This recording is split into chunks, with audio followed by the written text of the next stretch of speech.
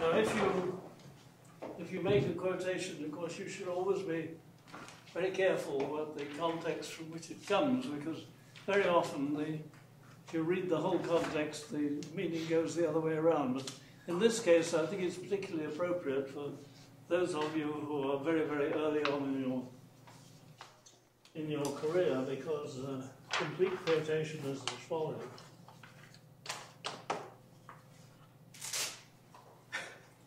Well,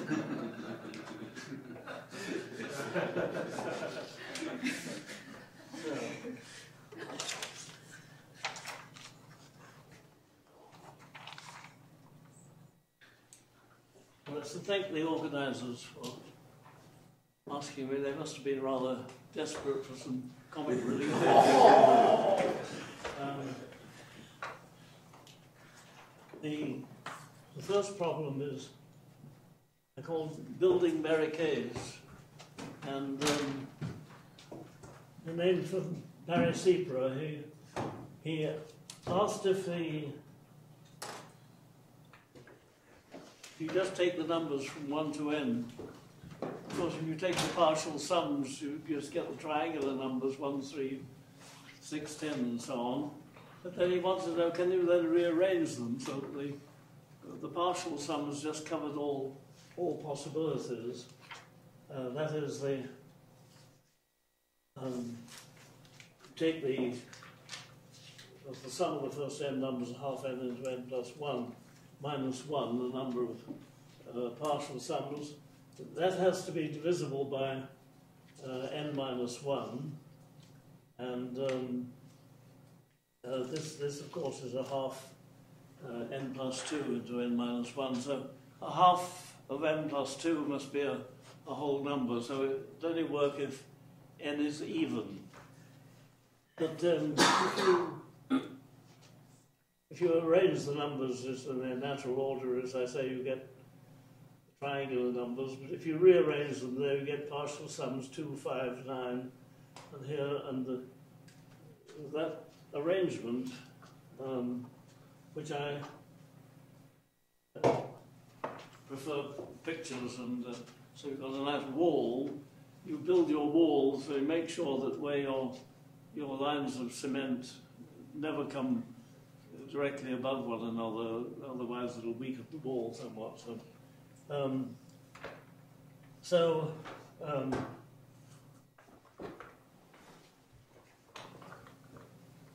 and um, then equals 2, I think you can easily see 2 and 1 and 1 and 2 uh, is the unique solution there. Uh, with um, uh, n equals 4, uh, we get um, we get four four solutions, and uh, the fourth one here satisfies what I call the Fink condition because um, uh, Alex Fink wanted to uh, arrange the thing in a more orderly fashion like this, that Okay. So, in trouble here, are? Um, but if you divide the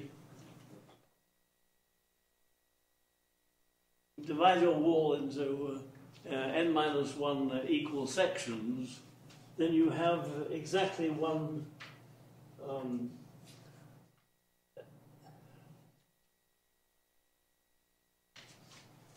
um, one join at, at each level.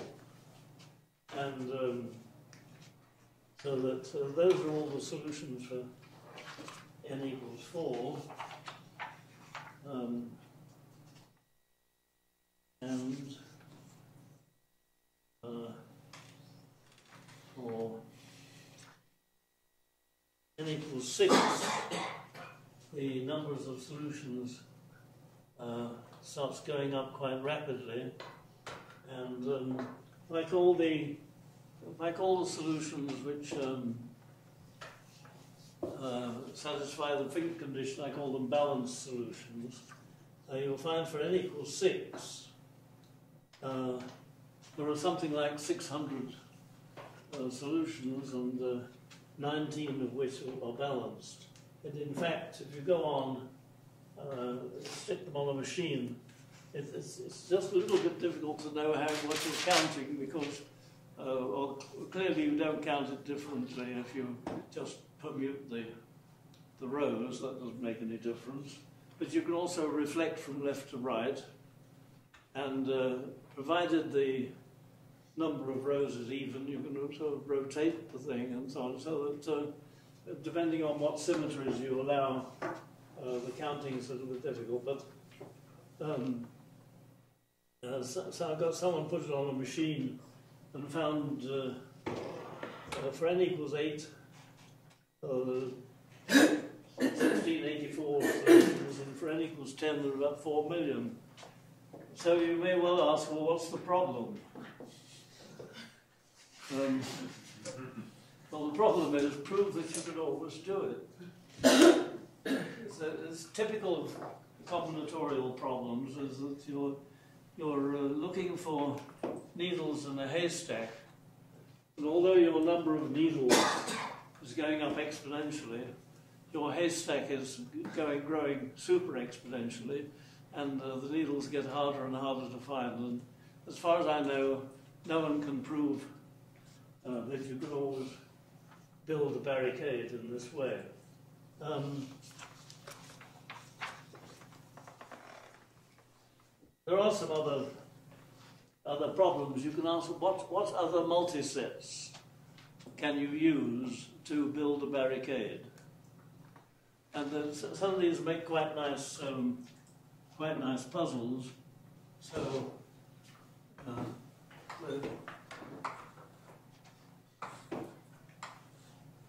suppose you take, suppose you take the numbers one, two, three, six, and nine. I leave you to uh, discover whether there is a solution uh, using uh, B5. Those add up to 21, so there are 20, 20 partial sums in there, and uh, there'll be four partial sums in these four go to. If there is a solution, it involves uh, five rows. So I leave you to decide whether you can prove there is no solution or, or find one, but you can. Um, the uh, next problem, uh, called the, the, Cookie Monster problem. Um, I, I attribute this to Loren Larson, and he attributes it to me, but anyhow, it arose in some way or other when we were uh, writing the book, The Inquisitive Problem Solver. Well, the Cookie Monster, he comes and the whole, the, there are a lot of jars of cookies, and um, he he can he can take any number of cookies, and he can choose any number of jars, his only restriction is that he is only allowed to take the same number of cookies from every jar that he selects. And the object is for him to uh, empty the cookie jars in as few visits as possible. Um, so, um, supposing that there are four jars with uh, 954 and two uh, cookies in them, uh, when you could empty the most jars out of them, which um, uh, of course, as soon two jars are equal in size, you uh, you can treat them as just one one jar, so that uh, um, a sense, in a sense, you uh, emptied. Uh, you by, by taking five from each of the two first, first two jars, you reduce the number of jars from four down to two, because um, one jar is obviously empty, but uh, since you've now got two jars with four in them, you can treat that as a single jar. So, um, so you can do, you can consume uh, 9 plus 5 plus 4 plus 2 cookies and uh, three visits with that. But if you, if you try now with um, um, 17, 16, 11, 4, 2, 1, um, you'll find that you need, uh, if you use, use uh, empty the most jars algorithm, you, you need to make at least five visits. So you instead you eat the most cookies uh, uh, algorithm.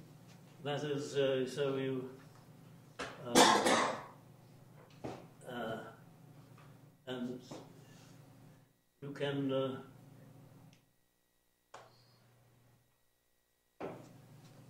well those those of you who draw um, what do you what do you call them uh, diagrams or young tableau or something. You may have heard of Durfee squares and things uh, what, what, what this is is you you select the biggest rectangle you can out of your thing. The biggest area rectangle that contains the most cookies. So if you eat the most cookies, you can, you can consume 30, 33 cookies on the first visit, and uh, that brings it down to uh, 65421. And then uh, you can uh, consume uh, 12 cookies by selecting uh, the 654 jars, and um, so that you can you can manage it four visits instead of five. Now, supposing the uh, 36, 33, 5, 1, um, empty the most jars and uh, eating the most cookies um, both lead to this and need a, a total of four visits. So we use the binary algorithm, which is you eat the biggest power of two uh, cookies from uh, from all those jars which have that, that number in, and you find that um, you can do that with three visits. Okay, well now we come to 11542. Uh, well, eat the most empty the most jars or eat the most cookies, or the binary algorithm. All take four visits, but you can, visible here, you can do it in three visits. So problem, what's, find an algorithm which works in all cases. Uh, the last time John Conway came to uh, visit me. Amused himself on the plane with calculating what uh, we later called the subprime Fibonacci sequences. And um, he took the Fibonacci sequence of 0, 1, 1, 2, 3, 5, and 3 and 5 makes 8. But uh, if the number was composite, he didn't, uh, first of all divided by the smallest prime factor. So instead of 8, um, you divide by 2 and 4. Now 4 and 5 makes 9. 9 is composite, so you divide by the smallest prime factor and write 3 instead. Uh, 4 and 3 is 7, that's fine. Now 3 and 7 is 10, but that's composite, so you divide by 2 and get 5. Uh, 5 and 7 is 12, you divide by 2, 6. 6 and 5 is 11, is primed, all right. 11 and 6 is 17, primed, okay. You keep going, and eventually you find yourself in a, an 18 cycle. Because uh, if you start with a, a diff different pair of numbers, uh, presumably something different happens. And um, So, does um,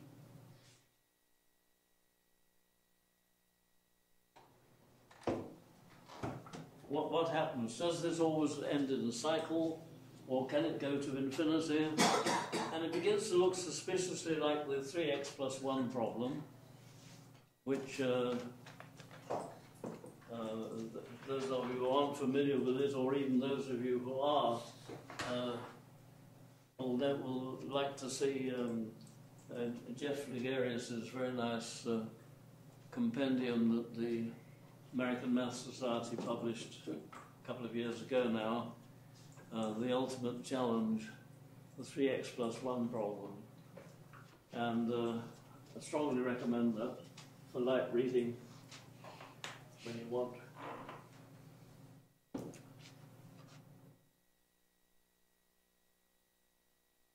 Well, um,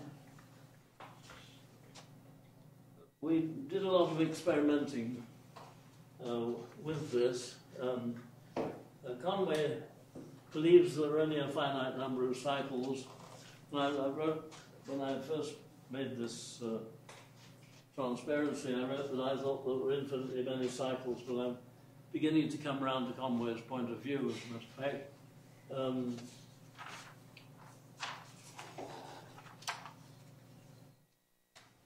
if you uh, you start one, four, five, and, and so on, you uh, you end in a 136 cycle. Uh, if you start 25, 26, uh, you get into a 19 cycle. And you start from 100 and 101, it leads to a, a 56 cycle. And uh, that, that was all done by hand. Uh, but um, uh, uh, Tanya Khovanova got, interested in this problem and she put it on a machine and found a, a 10 cycle and an 11 cycle. Not particularly large numbers, but um, so we know, we know of six cycles so far. Perhaps that's it. And uh, perhaps it never goes to infinity, but it, it, this seems impossible to prove. And as I say, it may be as hard as the 3x plus 1 problem. But um, I did some sort of probabilistic calculations, and it seems to me that if you if you only take uh, prime divisors which are not too big, then uh, of course you obviously increase the chances it's going to go to infinity.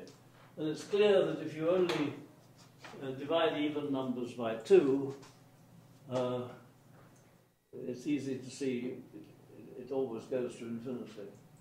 And even if you only use the divisors 2 and 3, then it's, it's fairly clear that it goes to infinity. But I, I believe that somewhere around about 13, if you only use the divisors up to 13, and if, if a, a number was composite but its smallest prime factor was bigger than 13, you, you left it alone and carried on. Uh, it may be that some sequences go to infinity. But uh, this may be impossibly difficult anyway.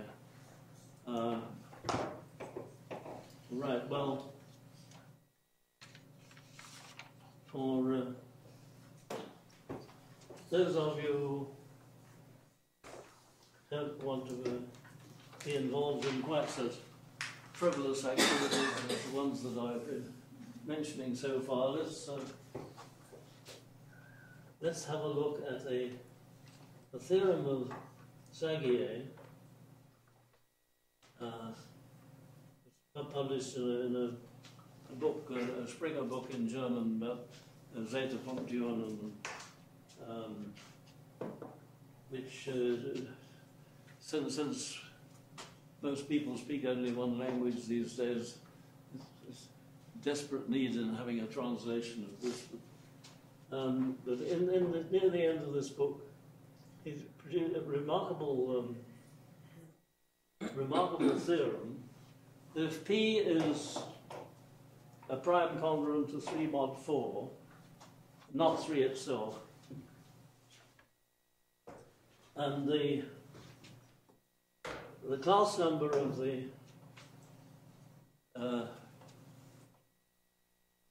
field uh, Q root P is 1, because that's a famous unsolved problem of its own.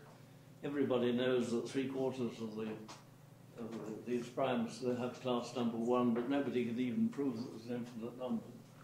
Anyhow, so it's a, it's a non-trivial theorem. Um, if the if the class number of uh, q root p is is one, then the class number of the corresponding imaginary quadratic field, I'm denoted by h minus, is given by this remarkable uh, magic number, as I call it. It's one third of the sum of the partial quotients minus the number of partial quotients in the negative continued fraction expansion of root p. So that is if uh, root p is a, a sub 0 minus 1 over a sub 1 minus 1 over a, all minus signs instead of the usual regular ones. Um, it's, it's rather astounding in, in, the first place that, that this should be this should be a whole number. And the first place to begin with is to is to show that that is a whole number. But, um, observing uh,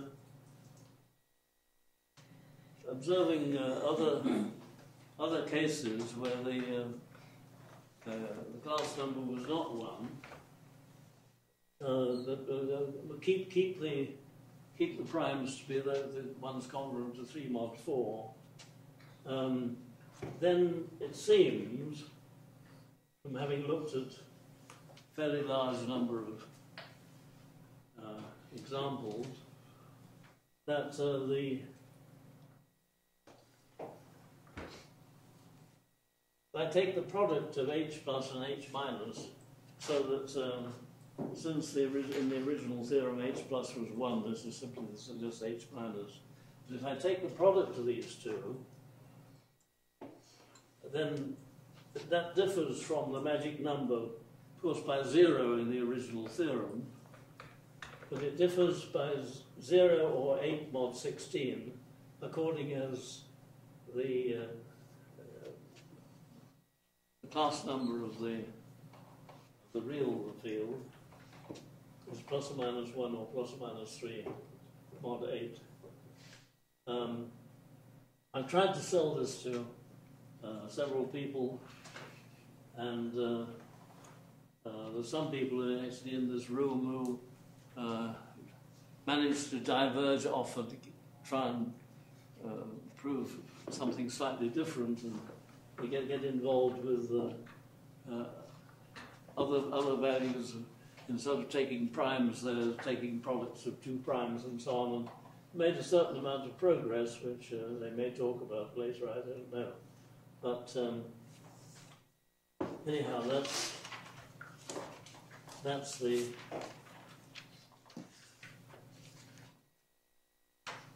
all I have time for at the moment.